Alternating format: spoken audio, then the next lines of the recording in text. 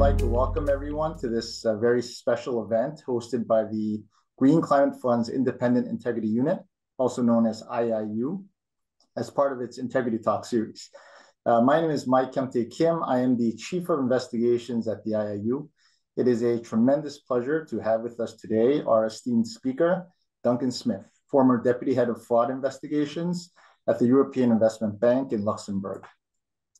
At the EIB, Duncan was responsible for policy development, outreach, and training, amongst many other duties, before retiring at the end of last year.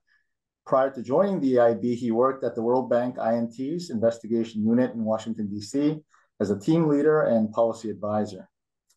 During the earlier part of his career, he tackled fraud and corruption cases in the United Kingdom, including at the Department of Trade and Industry and at the Serious Fraud Office. Duncan is a UK lawyer who has uh, written articles for the Basel Institute on Governance and the Journal of Financial Compliance, and has given presentations to a wide range of audiences, including at conferences, uh, universities, and on podcasts. He joined the peer review teams of the investigation functions at the WHO uh, and the European Patent Office. And he's written two books, one entitled Promoting Integrity in the Work of International Organizations, and another titled Fraud and Corruption Cases and Materials. Uh, and he's currently working on a third book, which is on the topic of money laundering. And he'll um, get into uh, some of that book, uh, some of the content of that book later. Thank you very much for joining us today, Duncan. Uh, I know that um, you've uh, remained very busy after your long uh, service at the EIB. Um, just want to ask you, how has 2024 been so far for you? Hello, Mike, and hello, all the participants. I I've enjoyed um, retirement, but it's been very busy preparing text on this new book, and my daughter got married and various other things, personal issues. So I'm having a busy time. It, it's bizarre to say, but I'm as busy as I used to be when I worked. Um, I would just like to make one point, Mike, before we start, and that is in terms of the books that I've had published by Springer. Um, I'm happy to raise awareness about the issues and give people, practitioners, students, the opportunity to read them and think about the issues. Maybe in an out of the box experience, they can come up with some, some new proposals to resolve these things. But also, I'm not doing it for the money. I donate all of the proceeds that I receive from Springer to a UK based charity for brain injury called Headway and so far, we've given maybe more than a thousand euros to Headway. And I'm happy because not only do the books raise awareness of the issues and give people chance to re review the issues, but also that I'm able to, to be a, a positive influence for Headway as well. That's terrific, uh, Duncan. Um, I think that uh, it's really special when you can uh, share your experience and expertise, um, you know, with the public, with those uh, practitioners who are interested, but at the same time, um, contribute to society, um, helping those uh, in need, um, you know, through through that experience and and really sharing the wealth of knowledge that you have. So very much looking forward to it. Um, I also encourage our um, audience today to take interest uh, in this topic uh, as well as the books that Duncan uh, uh, has published. so um, getting into um, some of the um, more technical areas that um, I wanted to cover during today's session. Um, many of your books and speaking engagements I've noticed have focused on addressing fraud and corruption in projects that are funded by multilateral development banks, also known as MDBs. In your experience, what are some unique challenges uh, and risks associated with uh, detecting and addressing fraud and corruption in international financial institutions like the, the MDBs?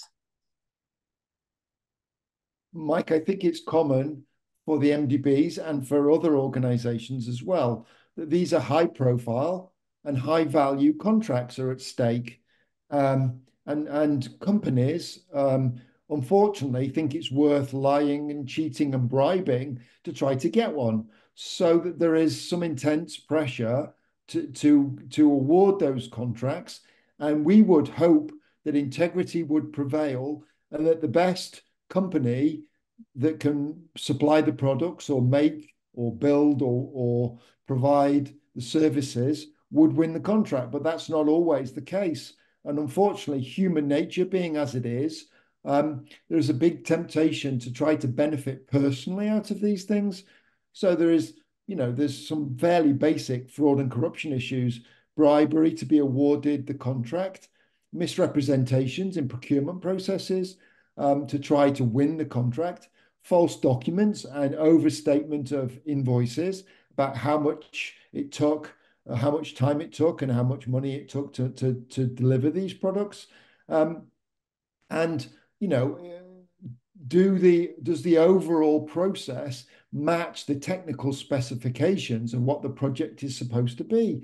So I think you know there are significant reputational risks of integrity violations which don't um, um, have the same sort of process as a domestic law enforcement backed agency. You know, if you're doing this for a government, there are law enforcement powers that would kick in automatically if there were some suspicions of fraud or corruption. But in these cases, you know, global projects with with um, implementation around the world with multinational organizations, there is always the possibility of fraud and corruption. And with publicity, either positive about what, what the government or what, what the agency is doing, or negative about the, the mess that fraud and corruption has developed these projects into.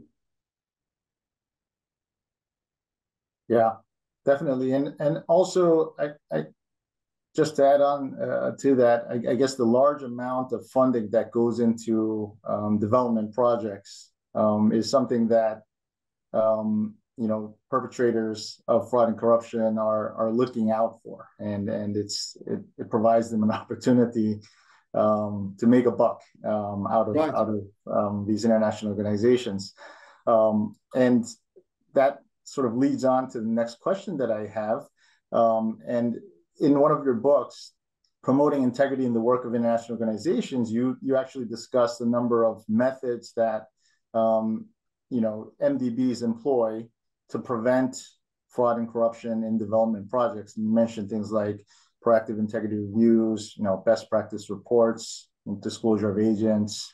Um, in your experience, what has been some of the most effective tools um, to prevent fraud and corruption um, in in these development projects?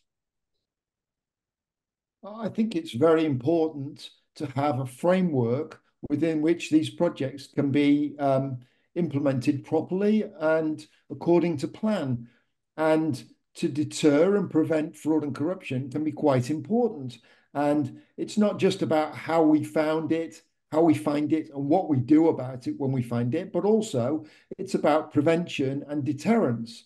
So, you know, the MDBs have adapted um, the sanctions, and there's now not just sanctioning of an entity, but cross debarment of an entity that's been engaged. So the risks of the same entity doing the same sort of thing in a similar project financed by another organization has has diminished significantly. Um, but it's not just about punishment, it's about deterrence and prevention. And I think proactive integrity reviews have developed in the last few years as quite a positive way to identify weaknesses and gaps in the project and in the processes that the project is being implemented using um, without the, the, necessarily without there being a complaint of fraud or corruption yet um, because those issues haven't developed but you know if we can identify what the weaknesses are and put in place on the basis of some recommendations,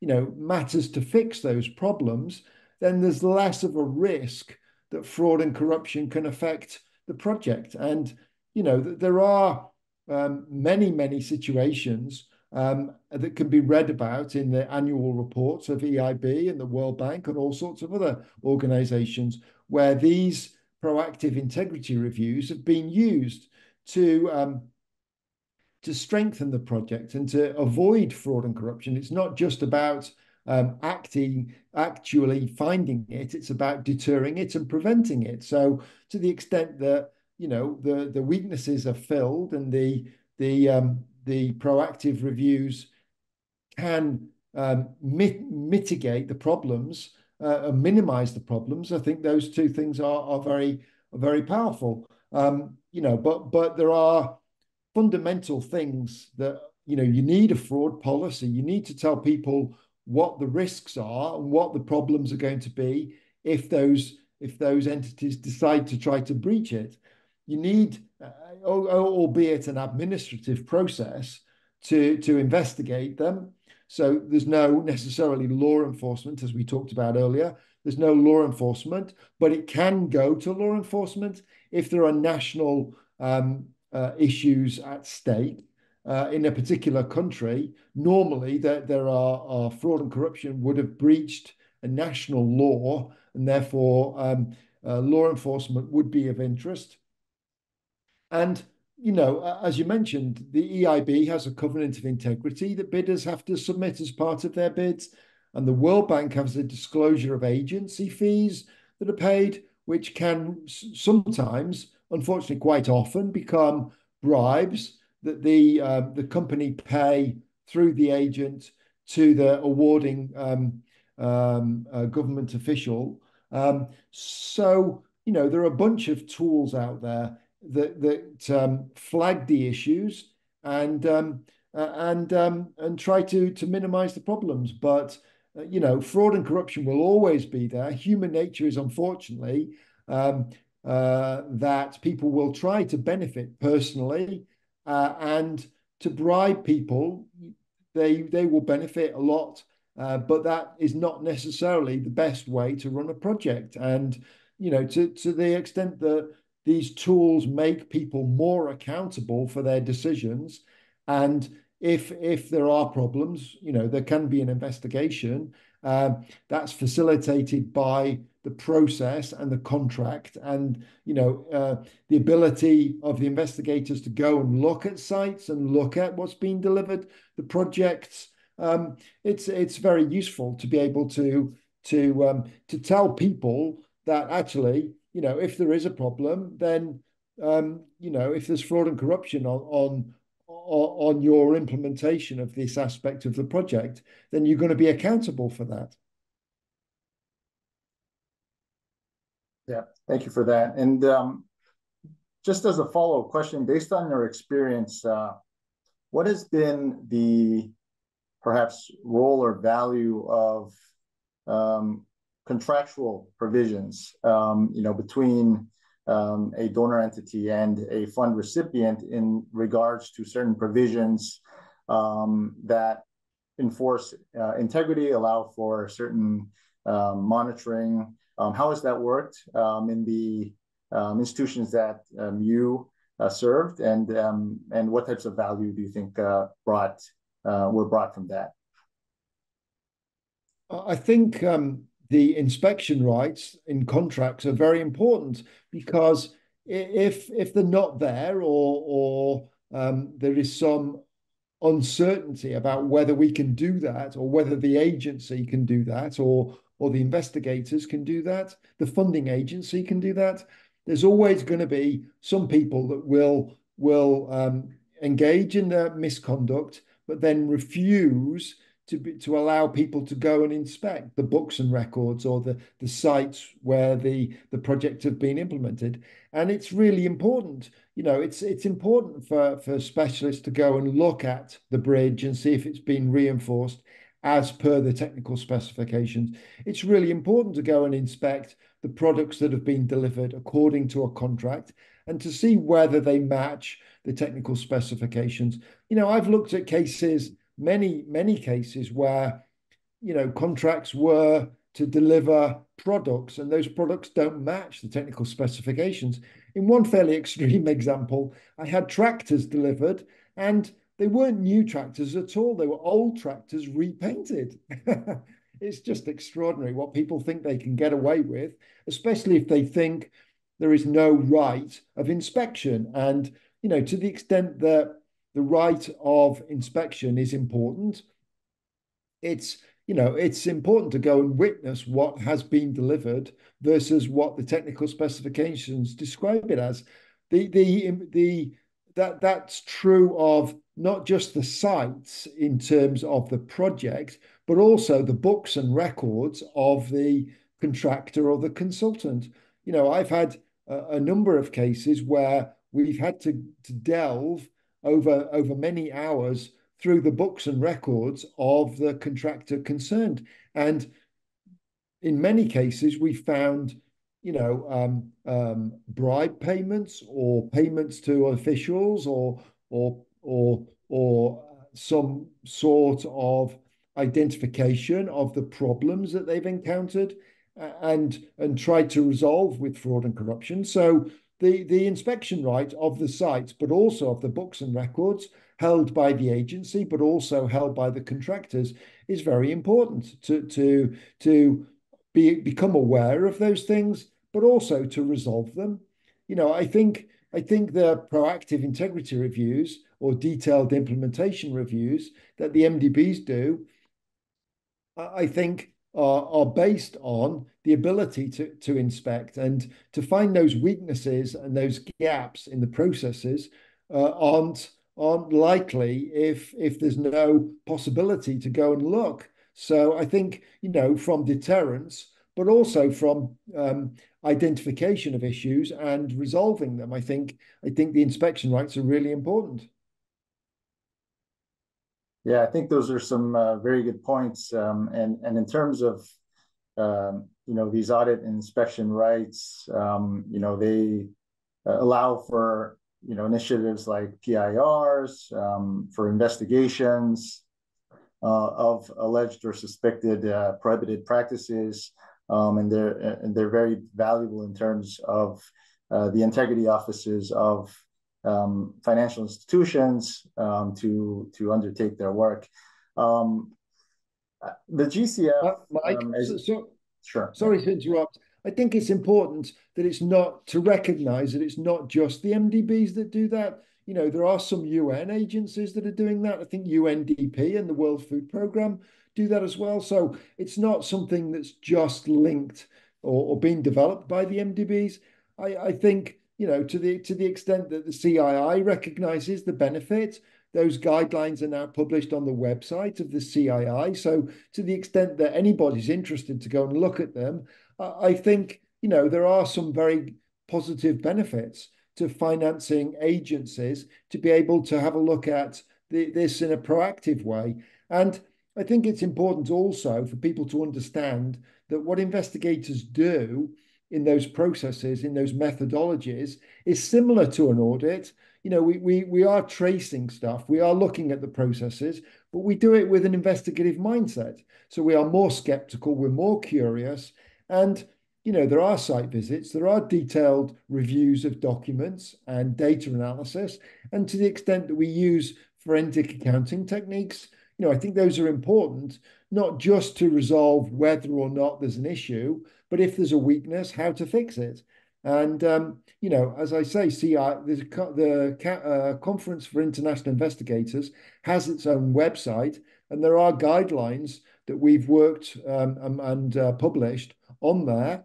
Uh, if if anybody's interested to see how those things can and should be undertaken. Thanks, Duncan. Yes, uh, just for the audience, uh, the CII or Conference of International Investigators um, is a um, sort of conference or group um, that was uh, founded many, many years ago. Um, and it includes uh, um, integrity or investigation offices of various UN uh, entities, MDBs, um, other IFIs, uh, as well as other types of international organizations. It is really um, grown quite a bit over the years. Um, and it has done some tremendous work in terms of um, harmonizing um, processes and coming up with guidelines of uh, best practices. And Duncan has played an instrumental part, uh, not only in the inception of the CII, but also in uh, formulating a lot of those uh, uh, uh, um, policies. Um, so yes, as Duncan mentioned, if anyone is interested, please visit that website, which will um, provide more information and uh, might add some value. Um, so um, just uh, going a bit further in terms of um, the, um, the, the, the sort of audit clauses and, and the investigation related clauses. Here at the GCF, we have a business structure uh, where we enter into partnerships uh, with um, what we call accredited entities. Uh, and uh, we rely a lot upon our accredited entities in terms of uh, project implementation and execution. Um, in our um, agreements with uh, the accredited entities, um, based on the GCF policies, um, we require them to investigate allegations of prohibited practices. Of course, uh, the IIU uh, also has uh, direct investigation um, rights to do so, um, but our um, sort of strategy um, from, from the IIU's uh, perspective is to really try to leverage upon um, the resources um, of our accredited entities to provide assistance where needed uh, in investigating these allegations. Um, in your experience, Duncan, um, where do you think that collaboration, information sharing, um, and potential joint investigations can be of value when it comes to tackling um, allegations of international corruption and fraud? Mike, when I when I started working at the World Bank in 2000, you know, it was very clear that multinational organizations would try to play one organization off against the other. The the the the MDBs all had different definitions, and so we what we thought was fraud at the World Bank would be would not be fraud at the Asian Development Bank, or or might might not qualify for for something at the EBRD. And so what we did was we harmonized the definitions in the uniform framework in 2006. And so that made everybody clear about what fraud and corruption was.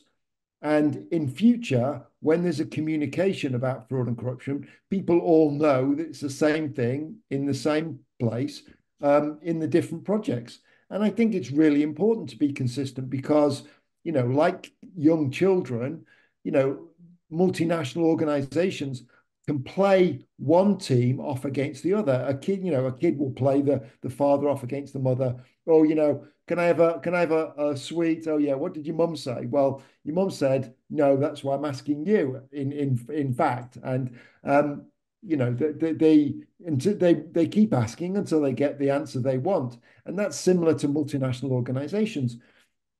And I think you know when when we when we're all based around the same sort of documents and the same sort of policies, there's a lot of strength in numbers. There's a lot of consistency, and there's a there's I think a positive um, um, um, influence to to to promoting integrity in these projects.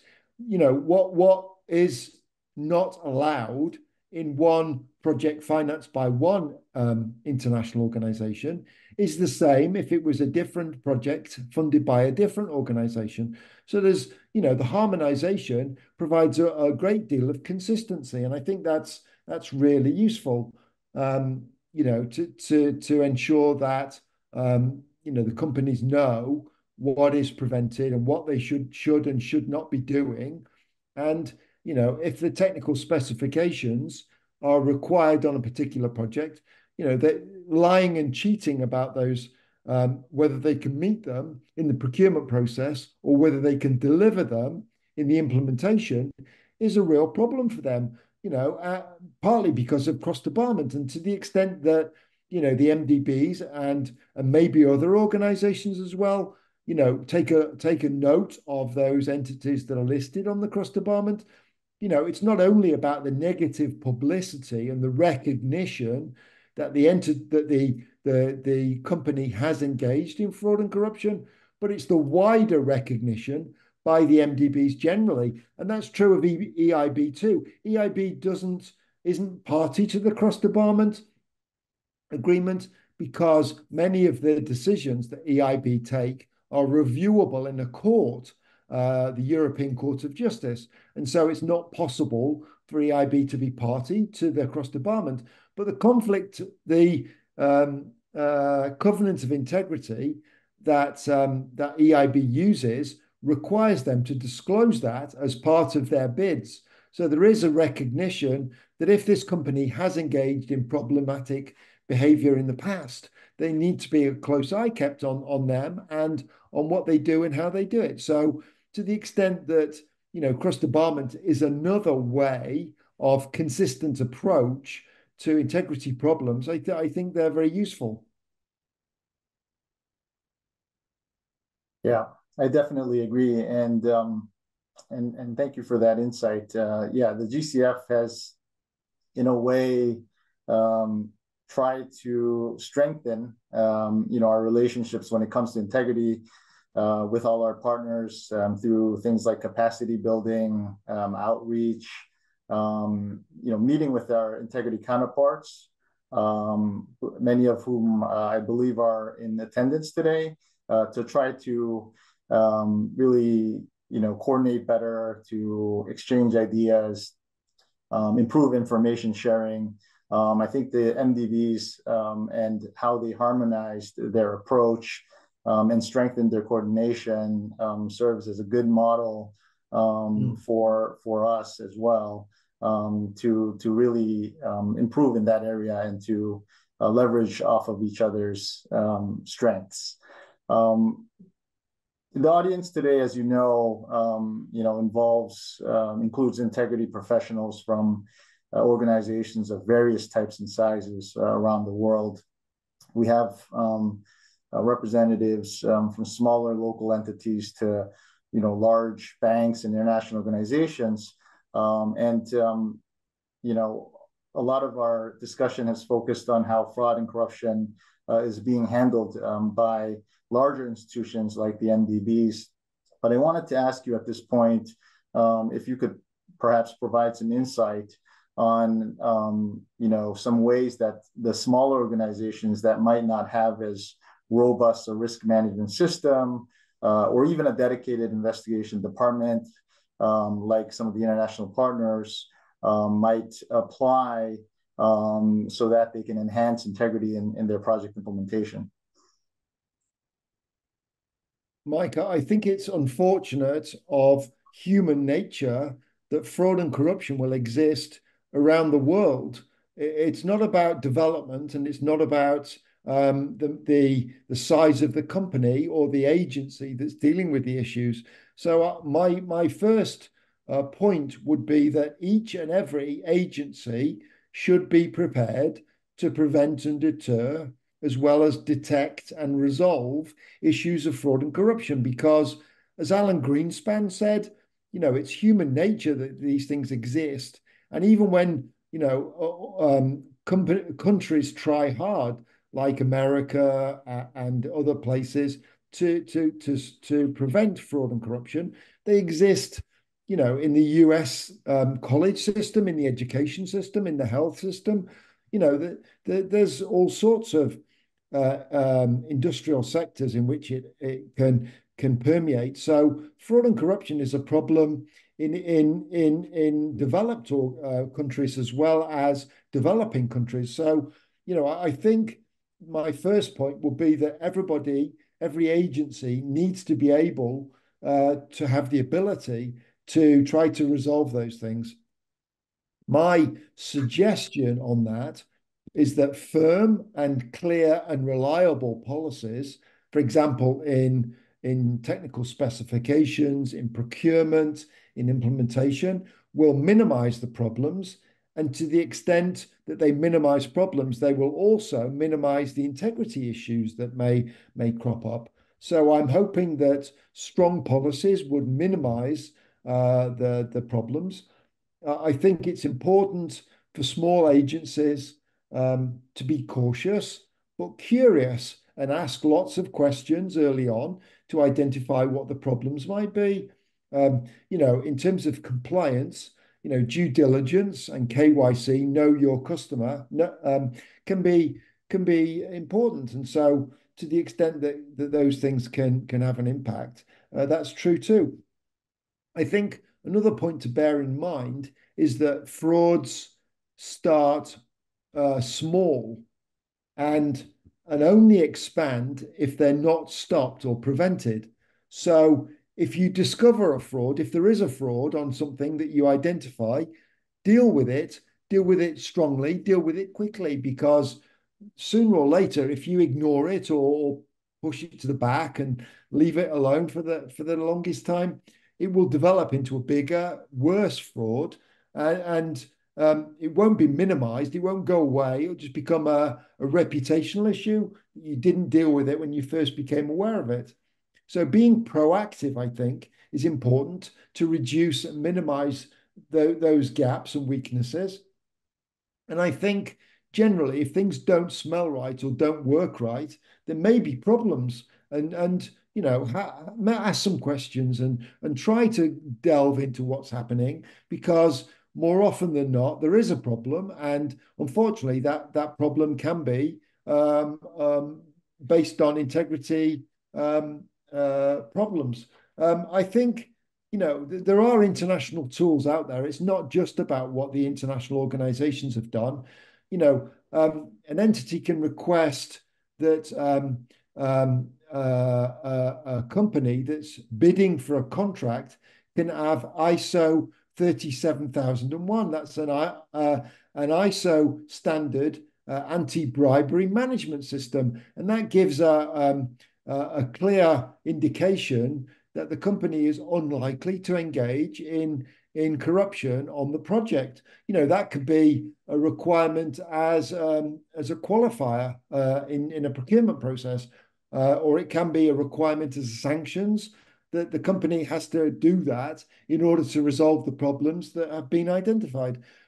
Uh, third party monitoring. If if there's some doubt about what an, an entity is involved in, to the extent that the, there can be a third party monitor, um, they can be independent and they can look at what's been uh, undertaken and whether it's reliable or not. You know, compliance I've talked about. You know, there are there is uh, the United Nations Convention Against Corruption and, and OECD Convention Against Bribery of Foreign Officials. You know, the, there are a number of, of tools, the World Economic Forum, the EU um, um, directive on whistleblowers, whistleblower protection. You know, there's a bunch of things. You know, protection of whistleblowers can be a, a very useful way to identify whether there are problems and if if those whistleblowers do come forward on the basis that they're protected that can be a useful um, um, way of identifying these problems. You know there are a bunch of things that can be done. It's not easy to identify what should be done in an individual case but there are there, there is a, a number of things out there that's available to entities if fraud and corruption have become a problem or or there is a concern that there needs to be some preventive mechanisms put in place to stop them becoming a, a, a problem in the future. Thanks, Duncan. Yeah, that's that's some very valuable uh, advice, and um, those are some really good uh, resources um, that you've mentioned. Um, yeah, for our um, colleagues in our accredited entities, if you're interested in learning more, um, please reach out to the IIU or to Duncan, um, and I'm sure that uh, we'll be able to provide you with with uh, abundance of resources for you to to refer to. I have uh, now uh, just noticed that uh, there's quite a number of questions uh, that we've received. I still have some questions left, but I think that it might be better to focus on um, what uh, our audience is particularly interested in today. So um, at this point, I'll just move on to some of the questions that we've received. Um, one question is um, how how are proactive integrity reviews different from internal audit? Um, I think that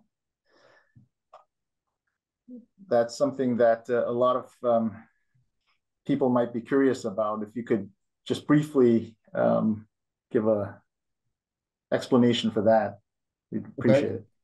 Sure. Um, PIRs are, are something that uh, it's a methodology that's been developed by the investigation unit. This is not a process of accountancy to make sure that what came in went out and what, you know, that the rules have been obeyed uh, in terms of accountancy. This is much more investigating. This is much more to identify what the weaknesses are and whether the weaknesses or gaps could be fixed to prevent fraud and corruption in the future. So, although it's done with an audit, a sort of audit system process, um, you use investigation methodologies. So you're a lot more skeptical when when when the company says, "Oh yeah, this is resolved this way." Well, let's see, let's see in writing what how that's been resolved in the past, uh, because you know when you're curious, when you look and ask lots of questions, you can find problems, and it's very difficult for them to hide on the basis of extensive documentation and site visits. These things can be investigated. It, it's it's it's not an accountancy process. It's it's much more about um, forensic um, accounting techniques being applied in an investigative methodology to identify uh, and you know they may identify fraud and corruption cases already that's already being on the uh, undertaken that's not the aim necessarily um, if you use them on high risk projects which eib generally does we we look to to the the risk um, of the project before we decide whether or not it's it's something that should be subject to a, um, a PIR. Those those PIRs can undertake preventive work. It's not just about detection of fraud and corruption, but you know the number of cases that investigations at EIB ever received from invest from um, accountancy from the auditors was minimal. Uh, so I'm not saying that audit doesn't have a role in the process. Of course, it's part of the methodology, but with an investigative mindset, you're always being curious. You're always trying to to to get evidence of what they're asserting are the processes, and if there are weaknesses and there are gaps, those those can be um, can be the the recommendations of the PIR team can fi fix those problems before they are um, used uh, to, to undertake fraud and corruption. So, although they're similar to audit, they're really not an audit process. And um, with an investigative mindset, these problems can can be useful not just in detection but also in prevention. Yeah, thanks, Duncan. And and just to follow up on that topic, um, we have a question here. Um, PIRs are indeed great tools for deterrence. However, the initial response from organizations potentially subject to PIRs may be one of hesitation.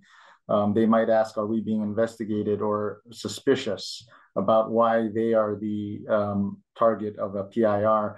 Um, you mentioned um, some very good points just now um, in how PIRs are not necessarily looking to, you know, find, you know, faults um, or try to blame a certain organization. And it's useful, I guess, to um, provide that type of explanation. But the question is, what could be a strong buy-in for stakeholders? Um, is there any, um, you know, way that you can kind of communicate um, this better for those who are subject to a PIR so that they can better cooperate and uh, you know be be willing to to um, more positively be part of the process. I think the benefit is essentially about the proper implementation of the project, and if if they refuse and and there are problems identified later, then you know the, the, there's no doubt that some of the blame will rest with that entity. But to the extent that the entity is willing to engage in a PIR, then the benefit is that the, the project will be more likely to be implemented properly um, within the technical specifications. Uh, and um, proactive reviews can detect problems, they can uh, detect gaps and weaknesses. And the benefit is that it's the entity's benefit that there won't be any problems on those uh, gaps and weaknesses because the recommendations will strengthen the project and the way it's being and the, you know the the entity may benefit from that not just on this project but in the future. So you know there may be ways in which the recommendations can affect not just this project, but um, the, the, the, way they work in the future as well. So, you know, there are benefit, benefits to both parties. And it's not about blame. It's not looking to identify, you know, the entity as a fraud and corruption weak uh, entity. It's about trying to strengthen them and make them more suitable, better at implementing the project. Yeah, thank you. Um, another question that I see here is um, one that is kind of related to one that I wanted to ask as well. Um, could you perhaps um, highlight um, some examples of integrity risks um, or explain some unique aspects of climate finance that might require some special care and consideration? Um, have you seen anything in, in your practice in relation to um, specifically climate finance that um, you um, you know might have recognized as being unique from some of the other international development um, fraud and corruption areas. You know, Mike, I'm not an expert in the environment. I've just had solar panels fitted on my roof, so I'm very happy that I'm more environmentally friendly. But um, I'm not an expert in the environment. Uh, but I am happy that uh, Green Climate Fund has the ability to finance projects that will be useful around the world globally. Um, and my take on, on this issue is that um, you know the basic fraud and corruption will affect Green Climate Fund as they will anything else. People will overstate what they can supply. They'll overstate the time it's taken. They'll overstate what they can do, uh, and you know that that's true in or um, um, uh, Green, Green Climate Fund (GCF) projects as well as you know the World Bank and EIBs. Um, they'll pay they'll pay bribes to be awarded a contract, and they'll want the prestige of doing a GCF contract, which you know it's it's very it's very powerful stuff uh, for for marketing purposes.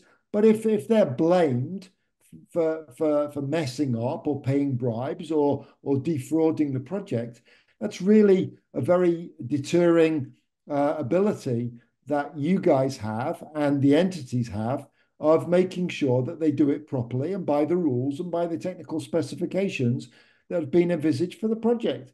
You know, every project is different, and I I don't recall ever having worked on a climate for uh, a climate project, but the the basics of fraud and corruption are this are similar, despite the, the you know the the industrial sector, education, health. You know, people build things badly or or the wrong dimensions. You know, I had a school once that was built almost exactly according to the plan, but the rooms were smaller, so they needed less tiles and less wallpaper, and the school itself was generally smaller than was supposed to be the case. You know, if you went and looked, you wouldn't have seen that, but it was based on the plans. And, you know, that each room was maybe 10 or 15% smaller. So they were being paid the same. They claimed the same amount of money to build it and decorate it. But the the the implementation was that they, they were getting 50% profit because of the smaller nature of the rooms.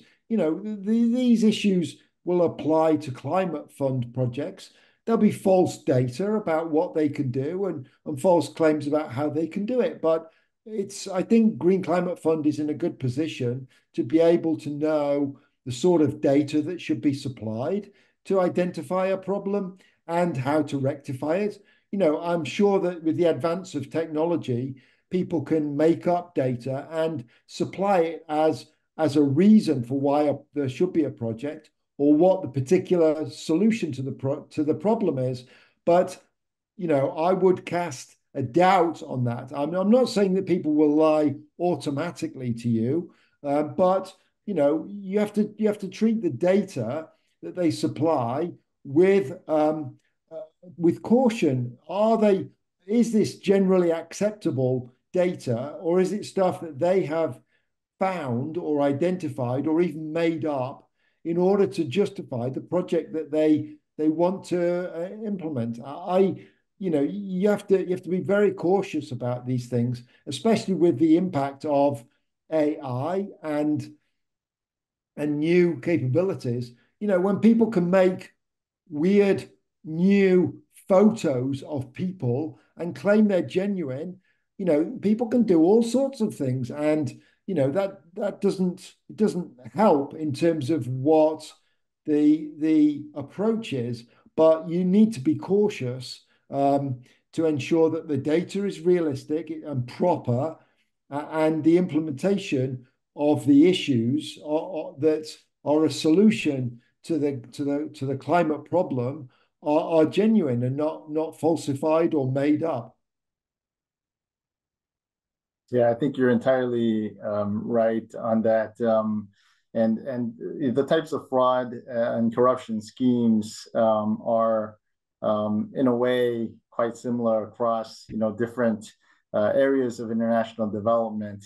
Um, and um, you know, as you as you rightfully mentioned, you know, the fact that you know climate change is one of those priority um, agenda items uh, for the international community, and the amount of money that's coming into this field, um, you know, hundred uh, dollars a year of um, you know um, uh, funding in addition to the ODA that that was previously provided, I guess um, provides a lot of um, sort of opportunity for the fraudsters to try to take advantage of. Yeah. So the risk is very high, reputationally and financially.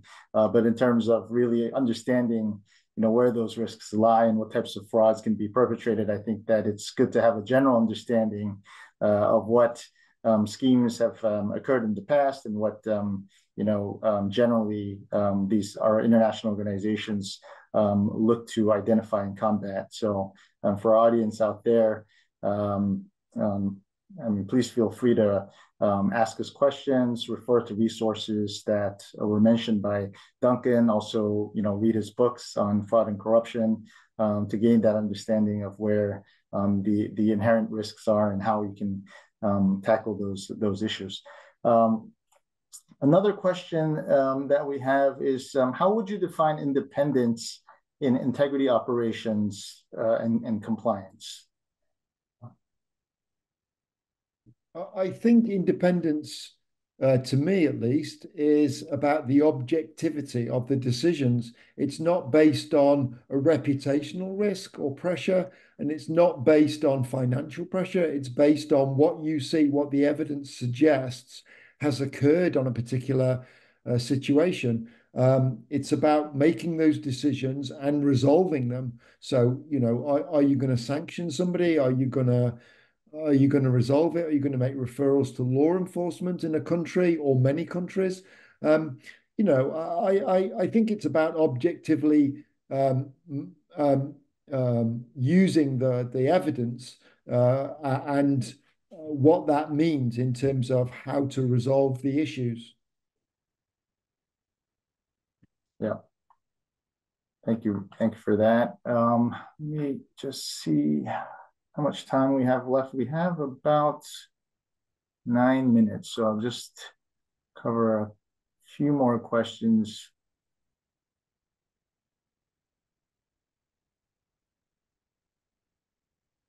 Yeah, we have a question actually, and I think that I can address this one. Is GCF part of an agreement uh, for mutual enforcement of debarment uh, decisions? Uh, GCF is not uh, currently part of any cross-debarment um, um, agreement or arrangement. Um, let's see, what are the main causes? Well, well, Mike, I think it's important to recognize that the cross debarment website is available. So if you have access to that and your entities have access to that, you can see it doesn't, it doesn't, the fact that you're not signed up to the cross debarment agreement does not mean that people can't use it for their own benefits in terms of awarding of procurement um, or, or, or, or, due diligence on projects. I, I think it's you know it's accessible, and I've I've spoken to a number of people in in various other organizations, the Nordic Investment Bank and various others, that use the, the list of cross debarment, even though they're not signed up to cross the bar those companies they use the information. And I think the information alone is useful, whether or not you're a party to the cross-debarment agreement. That's a good point. And thanks for sharing that, Duncan. Um, another question we have is from your EIB experience, um, uh, what is uh, or what are the main complaint um, or intake channels? Is it the hotline? Is it um, um, EIB monitoring? Um, is it um, other um, sort of avenues of whistleblowing? Um, yeah. We, we at, at, EIB, we would receive a number of cases um, per year, a large number of cases, and most of those would come from staff, and most of those would be staff on monitoring missions.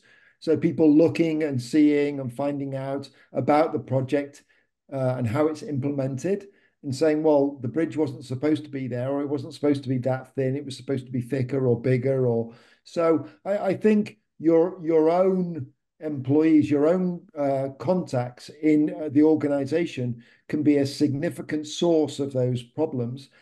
Um, complaints externally from people um, on the hotline and on the email um, came in and sometimes you know there are there's a lot of spam but also occasionally there are a good good cases being referred from an interested party maybe the losing bidder of a contract.